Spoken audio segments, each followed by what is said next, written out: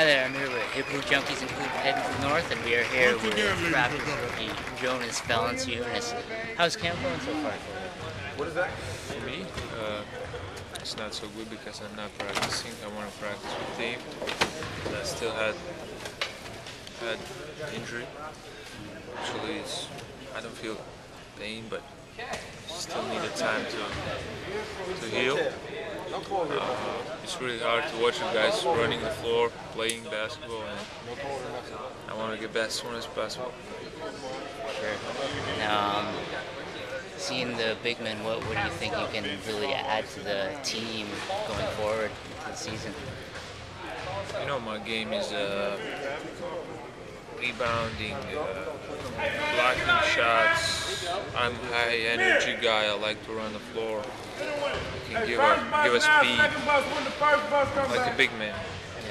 Now, who was your big man uh, influences growing up, actually?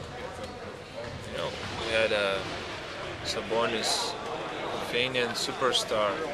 And then I saw Dwight Howard playing. Yeah, we, we saw the interview where you were talking about how wanting to play Dwight Howard there. I know He's a beast, eh? I know he's beast. I know he's really strong, man. And I just want to check me Yeah. where I am. So, Have the rookie? Uh, have you had rookie hazing yet, or like have any rookie duties yet? Some of the veterans? Not yet. It's too early. Not yet. I'm waiting there.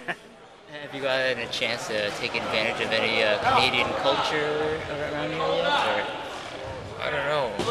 Simple. Have you, have you been to Tim Hortons yet? Tim Hortons? Tim Hortons? Yeah. Oh, it's the donut shop like all I around know.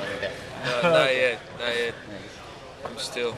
You know, Toronto is a great city. Uh, Yeah, for uh, sure. Toronto is a great city. Come on, Lucas. Toronto, great city. A lot of restaurants, a lot of different cultures, and a lot of fun. And it's a nice city. I like Toronto. Okay, well, this has been uh, Hip Hoop Junkies and Hoop Heads North with Jonas Valanciunas.